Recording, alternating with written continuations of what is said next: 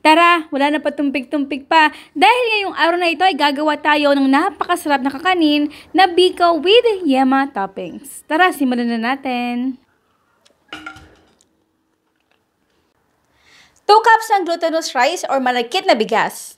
Sa kaldero ay syempre hugasan lang muna natin yung ating malagkit na bigas. Mga dalawang beses. So, tignan niyo kung gaano kadumi. So, after natin ito mahugasan, ay maglalagay tayo ng ating pinaka-final na tubig. So, dito guys ha, para lang tayo nagsasaing. Pero, I suggest na uh, bawasan natin ng konti yung uh, usual na ginagawa natin talaga sa bigas natin o sa kanin. Ito yung kadalasan kong panukat sa unang guhit ng ating daliri. Okay, then sa ayin lang natin to to the lowest heat. Yung malapit sa off section. Ayan, at luto na yung ating uh, sinain ng malagkit. Guys, wawag-wag lang natin ito para mamaya kapag ito ay sinaing na natin ng pangalawang beses, ay uh, madali na tayong magtanggal o mag-transfer. So, okay na sa medium heat. Maglalagay lang muna ako dito ng kakanggata. O kahit pangalawang gata, ay okay naman din yun. 2 cups at ng ating panutsa. Dito nga pala guys, paunti-unti lang ilagay natin. Then kasi nga, di ba, maglalagay tayo ng ating yama toppings at medyo may pagkamatamis na yun. Para naman, syempre, ay uh, mabalance yung ating uh, dessert or kakanin. Yan, so kapag kumukulo na at tunaw na yung ating panutsa, ilagay na natin dito yung ating niluto or sinaing na malagkit. At dito na tayo maghalo-halo.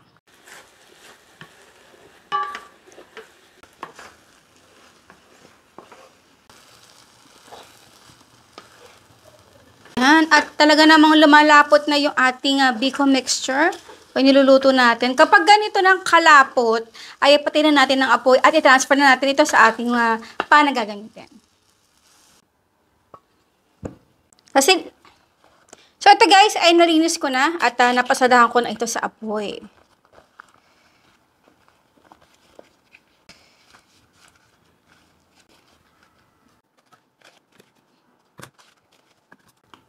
Magpapahid lang ako dito ng coconut oil para iwas dikit yung ating biko.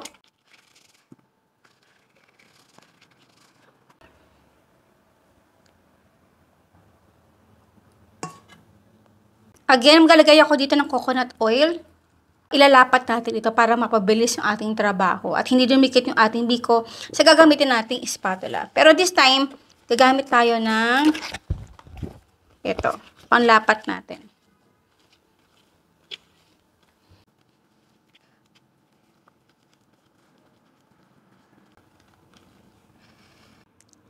Wow, perfect!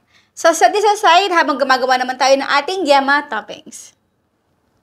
At para naman sa ating yema toppings, syempre condensed milk. 3 medium size ng itlog. Kakailanganin lang natin dito ng egg yolks. Yun lang. Diba? So, dito sa isang bowl, ay pagsasamay ko lang muna dito yung mga itlog. So, dahan-dahan lang at uh, dapat hindi nyo ma-break yung pinaka-egg yolk. Ayan. Mas nadadalan kasi ako sa ganitong klaseng paraan. Wait lang ha, kailangan syempre malinis yung ating kamay sa pagtanggal ng ating egg yolk. Kaysa sa yung nagagamitin natin yung eggshell tapos gaganon-ganonin natin, mas may possibility talaga na mabasag yung ating egg yolks. Transfer natin ito sa ating kawaling gagamitin. Ito ay hindi na natin kakailanganin, pa pwede natin ito gawing scramble o ilagay sa sarsyadong isda. Wala muna tayong apoy, konting asin, Konting vanilla essence. Haluin mo muna natin. Condensed milk. Isang data or 389 grams. Okay, then haluin lang natin itong maigi.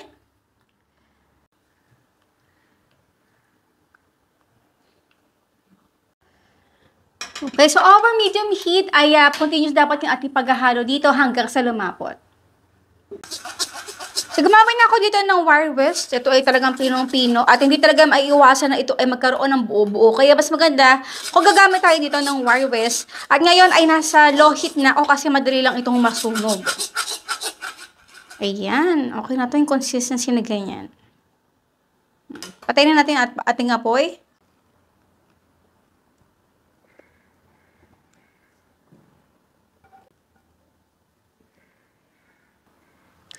Ay, ang bango. Yemang yema. Mhm. Oh, dami na naman makakain ito. ang bango. Kaya. Wow.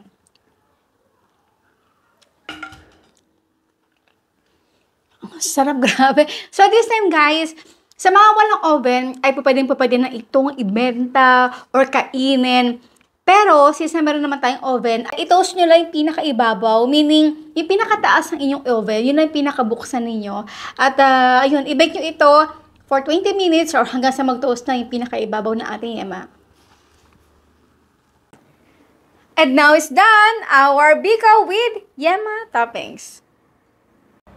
At syempre, bago tayo magtikiman portion, ang tanong ni Mami Shirley, anong klaseng another dessert ang ginawa natin dito para pantopping sa ating biko? Syempre, ang inyong sagot sa comment box section. Nako guys, napakasarap sa kape nito, promise.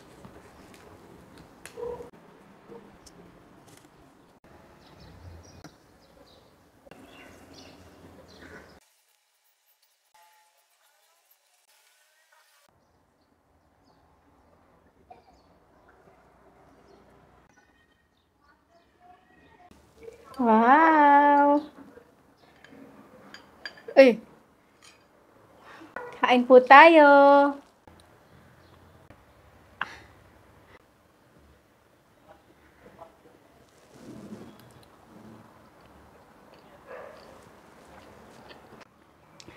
Ganito rin yung mararanasan nyo. Mararanasan nyo. Mararanasan nyo. Ano ba yan? Tumalsay.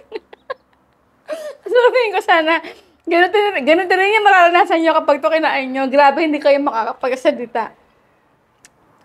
Ang sarap. Siguro mas masarap to kapag ito ay nasa ano, uh, mainit pa ng konti. Ito kasi ay nilagay ko sa ref. Ayan. Si Adriana kasi nagkaroon ng lagnat kahapon, kaya hindi ko na to na-film. Ayun. Kaya ito manabig ngayon. Mmm. The best talaga. Wala na akong masasabi pa. So, yun po guys. Maraming maraming po sa inyo lahat ng ating outro. Keep safe, be healthy, and happy. Bye!